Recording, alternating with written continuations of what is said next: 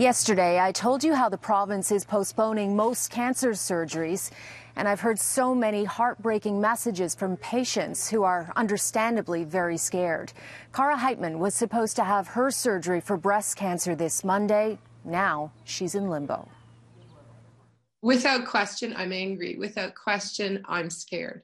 I have no idea what this means for my prognosis. I don't know if the cancer is going to spread. I don't know anything. I don't know what this means for my life. My surgery was scheduled to happen in three days, so why was it canceled? Um, I don't know the ins and outs of our medical system. I don't run it, but I do know that this is life saving surgery. The stress is enormous. I think, and part of that stress is we're powerless. What do we get to do about it? Do we get to say that's not fair? We can we can yell it from the rooftops, but I'm not sure anything's going to change. That's it's terrifying. I'm not sure at this point taking people that are that are living with cancer. If i'm a priority case obviously my life is probably at risk. Canceling that to prepare to care for other people whose lives are at risk it doesn't make sense. How do you weigh out whose life is more important? Um, and it kind of somebody said to me one of my friends when i told them it sounds like they're trading one life for another. And that's it's really hard to swallow I asked both Premier Doug Ford and Health Minister Christine Elliott about this today to try and get more information from patients. Here's what they had to say. How long will these postponements last?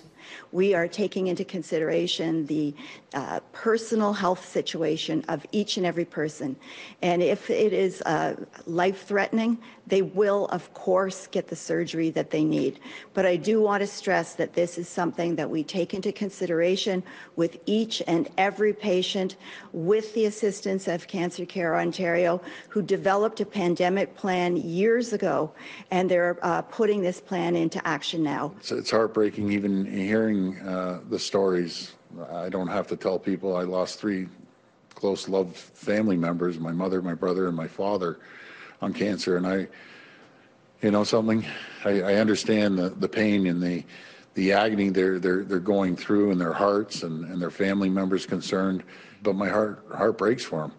Uh, and the pain, uh, the uncertainty. Another thing we learned today at that news conference there is an ethicist at the COVID 19 command center to help guide doctors who face difficult decisions. In Italy, for example, there aren't enough ventilators for all, and doctors have to make the critical and heart wrenching decision on who gets one and who gets to live and who doesn't. The health minister, though, insists that there will be enough in Ontario. They are asking companies to step up and help make them.